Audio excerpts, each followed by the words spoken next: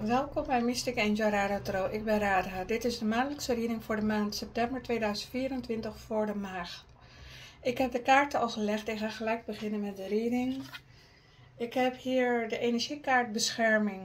Kom terug in je kracht, verbreek banden, hervind je ziel. Dus inderdaad word jij ook sowieso beschermd. Ik heb de kaarten echt geschud, want dat was ook dus voor die steenbok. Maar um, er zijn bepaalde kaarten die uh, dubbel zijn gekomen, maar dat maakt niet uit. Het, had ook voor, het was misschien ook bedoeld voor, voor jullie maag. Maar wat ik hier zie is jullie worden beschermd om weer in je kracht terug te komen. En misschien moet je bepaalde banden gaan verbreken met bepaalde personen. Uh, omdat diegene jou dus neerhaalt. En uh, zodat je weer terug naar jezelf, naar, dichter bij je ziel kon zijn, ik het zo zeggen. Ik zie ook dat je begeleid wordt met je zielsverwant als je die hebt. En als je die niet hebt, dan word je begeleid om uh, bij elkaar te komen met je zielsverwant. Um, en als je problemen hebt met je zielsverwant, dan word je daarin begeleid in de liefde. En mocht jij, um, mocht jij een van mijn diensten willen, vanwege het feit dat je misschien um, met je zielsverwant in de knoop zit en uh, dat je antwoorden wil of dat je um, zoveel vragen hebt dat je niet weet van hoe je dit moet oplossen, dan laat dat dan ook even weten. Uh, dan kan je gewoon een dienst van mij nemen en dan kunnen wij, kan ik jou daarbij helpen. Um, bij de Queen of uh, Swords zie ik dat jij um, dat je heel veel in twijfel zit. Dat komt door een transformatie. Je voelt je niet lekker in je vel. Met de Knave of Wands wil zeggen um, je, dat je het wel met de wijsheid aanpakt. En dat je wel inziet van dat je even niet lekker bent. En dan stap, doe je een stapje terug, zeg maar. Dus je, dus je zorgt jezelf met wijsheid. Wat jou blokkeert is dat jij niet in balans bent met financiën. En dat, um, ja, met de duivelkaart, daardoor zit je in je angsten voor je, uh, ja, dat er geen financiën binnenkomt. Wat ik hier zie is dat je begeleid wordt om, um, om weer actie te gaan nemen en dat je um, om te gaan ondernemen. Misschien dat je niet werkt voor baas, maar dat je een ondernemer, onderneming start. Wat tot de succes zal leiden. En um, dus dat zou ik wel doen.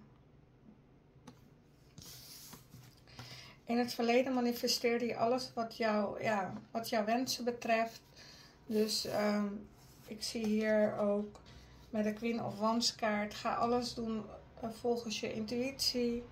Uh, luister goed naar je intuïtie en dan komt echt alles weer in orde.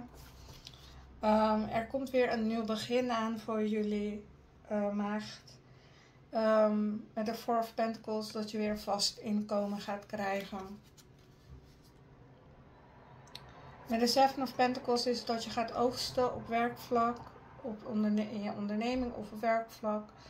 En ik zie hier met een Night of Wands kaart dat je snel, snelle acties onderneemt om, uh, om, het, om de financiën te kunnen manifesteren, zeg maar.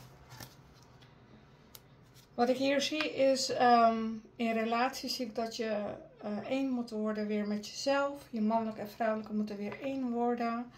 En dan komt echt alles weer in orde. En dan komt jouw zelfvertrouwen ook weer terug. En Um, ik zie hier met de Six of Wands kaart zie ik dat je weer in balans gaat komen met je gezondheid en met je financiën. En je komt weer helemaal terug in je kracht. Misschien moet je daar ook wel wat voor doen hoor. Om dat weer in je kracht te komen. Dus uh, het kan zomaar zijn. De Empress kaart is je gaat, uh, je gaat goed voor jezelf zorgen. En met uh, Ten of Swords kaart dat het einde komt aan deze hele situatie soms moet je er echt wel aan wat aan doen om uit die situatie te komen. En soms is het ook zo van dat het vanzelf verdwijnt. Dus kijk even of je, uh, ja, of je het nodig hebt. Het kan ook zijn dat doordat je in een cadeau met je zielsverwant bent, dat dat ook eigenlijk um, alles dan weer blokkeert. Want je hart gaat dan weer op slot zitten.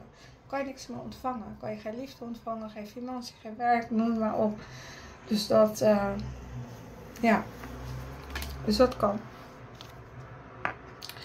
May the Tree of Ariel uh, do what you love, a time of great personal growth in your career and artistic endeavors, working with others in a comparative manner.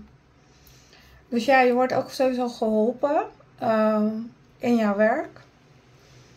Um, doe vooral de leuke dingen wat je, wat je leuk vindt om te doen, zodat dat werk voor jou leuk is. En daarin ga je ook groeien. Um, je gaat je creatief ook uiten. En ja, dus kijk even wat jij leuk vindt om te doen en hoe jij je creatief kan uiten. Want wij zijn creatieve mensen en we moeten ons creatief kunnen uiten. Dus uh, ik denk dat dat ook de reden is wat er eigenlijk speelt. Hè? Van uh, weinig geld, uh, misschien ehm, geen baan hebben of ehm, dat je baan zoekt die bij past. En eh, dat je niet weet wat je wilt. Kijk dan wat, wat, ehm, wat je leuk vindt om creatief, je creatief te uiten. Nou, ik hoop dat je hier wat aan had, lieve maagd. Laat me in ieder geval weten hier onder de video. Uh, like, abonneer, laat belletje rinkelen mijn video's te ontvangen. En mocht je een van mijn diensten willen, laat dan weten via de WhatsApp. Alle gegevens staan hieronder, ook mijn 06 nummer. En uh, ja, mocht jij een van mijn diensten willen boeken, doe dat dan via WhatsApp. Dan maak ik zo snel mogelijk afspraak voor je. Ja? Oké, nou tot de volgende keer. Doei doei!